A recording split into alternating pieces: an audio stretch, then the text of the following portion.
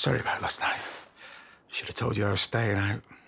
Just couldn't sell. I thought I'd put some hours in. It's fine. How's your mum's birthday?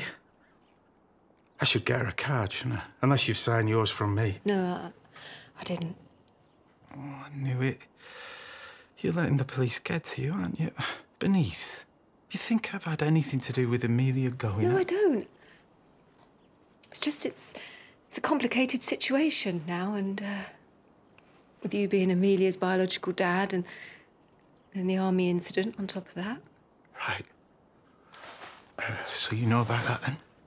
Dan thought it was best. Okay. Well, um, it was an accident. It was the worst day of my life, and I.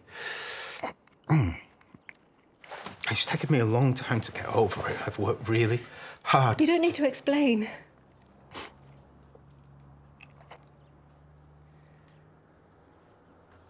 Bernice, what?